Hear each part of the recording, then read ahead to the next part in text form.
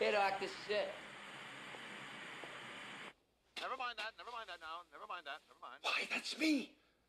Look at me. I'm an old man. I'm Dr. Emmett Brown. I'm standing here on the parking lot at Thank God I've still got my hair. Well, what on earth is this thing I'm wearing? 18 a.m. Wow, this this is a radiation suit. Radiation suit. Of course. Because of all the fallout from the atomic wars. This is truly amazing. A portable television studio. No wonder your president has to be an actor. He's got to look good on television. Whoa, this is it. This is the part coming up, Doc. No, no, no, no. This sucker's electrical. But I need a nuclear reaction to, to generate the 1.21 gigawatts of electric. What did I just say? The flux capacitor stores. This sucker's electrical. But I need a nuclear reaction to, to generate the 1.21 gigawatts of electricity. I need- 1.21 gigawatts! 1.21 gigawatts! Great Scott! What? What the hell is a gigawatt? How could I have been so careless? 1.21 gigawatts! Tom, how am I going to generate that kind of power? It can't be done, can it? Doc, look. All we need is a little plutonium. Oh, I'm sure that in 1985, plutonium was available in every corner drugstore, but in 1955, it's a little hard to come by. Marty, I'm sorry, but I'm afraid you're stuck here. Whoa, whoa, Doc, stuck here. I can't I can't be stuck here. I got a life in 1985.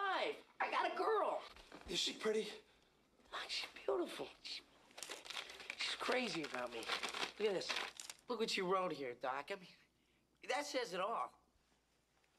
Doc, you're my only hope.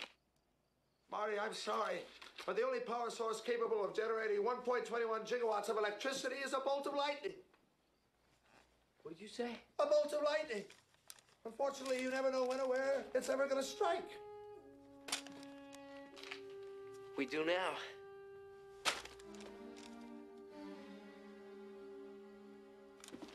This is it. This is the answer. It says here that a bolt of lightning is going to strike the clock tower precisely 10.04 p.m. next Saturday night.